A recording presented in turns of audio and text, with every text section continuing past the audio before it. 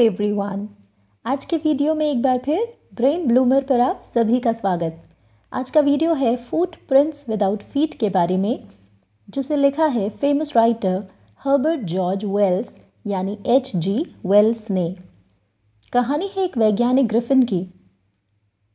क्या थे ग्रिफिन के सपने? और क्या आविष्कार करना चाहते थे वो? आइए जानते हैं। कहानी शुरू होती है जब दो लड़के कीचड़ कीचड़ से भरे दो पैरों के ताज़े निशान देखकर आश्चर्यचकित रह जाते हैं। वे घूर कर देख ही रहे होते हैं कि उन्हें एक और ताज़ा निशान दिखाई देता है। उन्हें गली में और कदम दिखते हैं और उसके बाद वो निशान गायब हो जाते हैं। ये पैरों के निशान थे वैज्ञानिक ग्रिफिन के। ग्रिफिन ने हाल ही में मानव शरीर को पारदर्शी या ट्रांसपेरेंट, बल्कि यूँ कहें कि गायब करने का तरीका खोज लिया था। उसने कुछ जड़ी बूटियाँ निगल ली थी और अब उसका शरीर शीशे की तरह पारदर्शी हो चुका था। ग्रिफिन कानून को न मानने वाला व्यक्ति था। उसका मकान मालिक उसे बिल्कुल पसंद नहीं करता था, बल्कि उसने तो ग्रिफिन को घर से निकालने की भी कोशिश की। बदले में ग्रिफिन ने उस घर को आग लगा दी जिसमें वो रहता था। घर से भागने के लिए उसने कपड़े उतारे, क्योंकि कपड़ों में वो दिख सकता था। अब उसके पास ना तो धन था, ना घर ना ही कपड़े। वो बेघर आवारा बन चुका था। उन दोनों लड़कों ने इसी गायब ग्रिफिन के पैरों के निशान देखे थे। क्योंकि ग्रिफिन दिखाई नहीं दे रहा था, इसलिए लड़के उसे पकड़ ना सके। इस समय ठंड का मौसम शुरू हो चुका था। ग्रिफिन बिना कपड़ों के ठंड से ठिठुर रहा था। इसलिए गलियों में घूमने के बजाय उसने गर्मी पाने के लिए लंदन के एक बड़े स्टोर में घुस जाना बेहतर समझा। स्टोर में उसने बॉक्सेस खोले, गर्म कपड़े पहने जूते ओवरकोट और हैट पहना, लेकिन वो अभी अदृश्य था। उसने होटल में मांस और कॉफ़ी भी ली, किराने के स्टोर से खाना, मिठाई और शराब ली। बाद में वहीं स्टोर के अंदर ही रज़ाइयों के ढेर पर वो सो गया। सुबह स्टोर खुलने तक उसकी आँख नहीं खुली थी। नौकरों के स्टोर में आने पर ग्रिफिन ने भागना शुरू किया। नौकर भी उसके पीछे भागे, लेकिन अपने कपड़े उतार कर फेंक देने के कारण वो बचकर भाग पाया। यहाँ से वो एक नाटक कंपनी में घुस गया यहाँ उसे कुछ कपड़ों के मिलने की उम्मीद थी।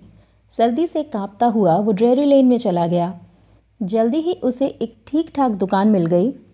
ऊपर जाने के थोड़ी देर बाद जब वो वापस आया तो उसने पूरे चेहरे और माथे पर पट्टियाँ लपेट रखी थीं। आँखों पर काला चश्मा, नकली नाक लगाए ग्रिफिन ने दुकानदार पर आक्रमण किया और उसका सारा धन लूट लिया। इसके बाद वो लंदन से आइपिंग चला गया। जहाँ पर मिसेस हॉल की सराय में उसने दो कमरे किराए पर ले लिए। ठंड के मौसम में गाँव की सराय में एक अजनबी के आने पर सभी गांववासियों को बहुत आश्चर्य हुआ। सराय की मालकिन मिसेस हॉल चाहती थी कि इस अजनबी से थोड़ा सा मेल जोल बढ़े ताकि वो उसके और उसके अजीब से व्यवहार के बारे में सब जान सकें। लेकिन ग्रिफिन ने उन्हें कड़ाई से ये समझा दिया था कि उसे किसी की दखल अंदाजी पसंद नहीं।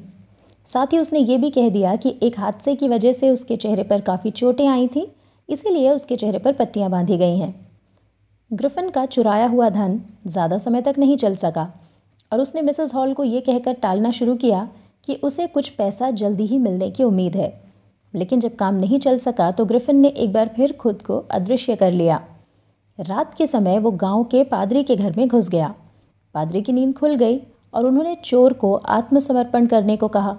लेकिन कोई दिखाई ही नहीं दिया जिसे वो पकड़ सके। उन्होंने देखा कमरा तो खाली था, लेकिन डेस्क को किसी ने खोला था और उनका धन भी गायब था। पादरी के लिए अपनी आँखों पर यकीन कर पाना नामुमकिन था। दूसरी ओर मिस्टर और मिसेस हॉल सुबह जल्दी उठ गए थे। ग्रिफिन के कमरे को खुला देख उन्हें ताज्जुब हुआ। कमरे में झाँक कर देखने पर उन्हें कोई ना दिखा, लेकिन ग्रिफिन के कपड़े और पट्टियाँ, कमरे का सामान, सब अस्त व्यस्त फैला पड़ा था।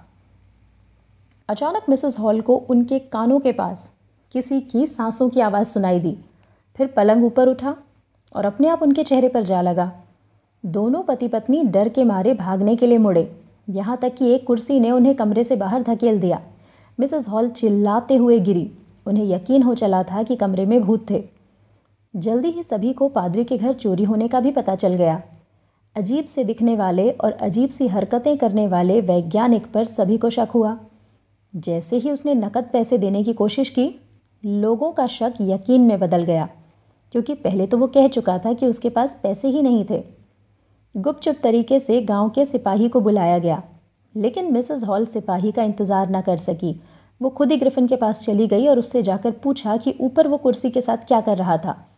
वो जानना चाहती थी कि भला बंद कमरे में वो घुसा कैसे। इस पर ग्रिफिन बहुत गुस्सा हुआ और चिल्लाने लगा।